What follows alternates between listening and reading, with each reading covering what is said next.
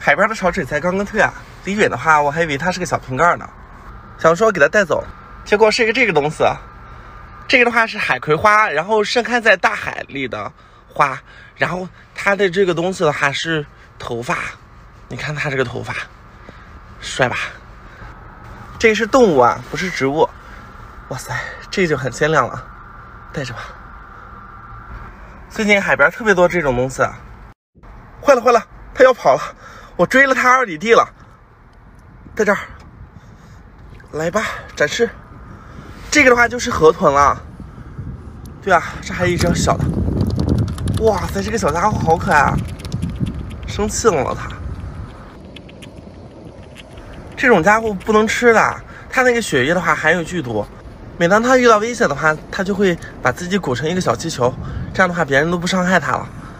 这个太小了，不带什么刺的，用它刷鞋是不是挺好的？这种家伙跑得特别快。它要在深水区的话，就是你看见也抓不到它，出溜一下就没了。嘿，今天海边潮水退的挺好的，但是今天就是天气的话有点阴天。前面看见吗？在那儿，这个家伙被我一脚踢出来的这个家伙，躲在那个石头缝，然后过来的时候，它出溜一下子跑到那个水面上了。这种的话特别鲜，但是就是太小了。没长大呢，等它长大之后再过来抓它吧。走吧，走，给你助个力。我们现在已经进到海面上最深的位置了，它在游泳呢，漂亮吧？哇塞，像个天灵盖一样。这是谁家的天灵盖？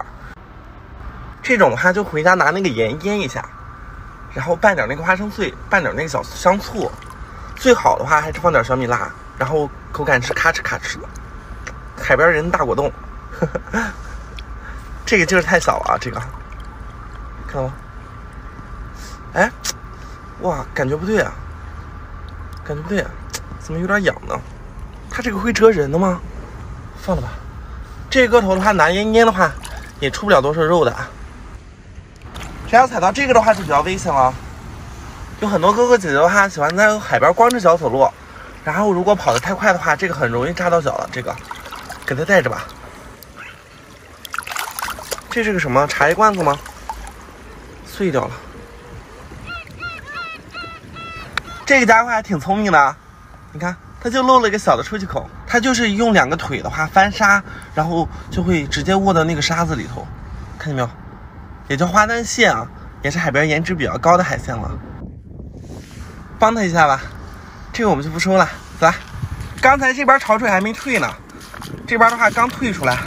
我就发现了一那么大的一根海带，这个的话根部应该是被那个海风、浪、涌啊什么的都给刮断了，然后这种的话一大根的话都飘上来了。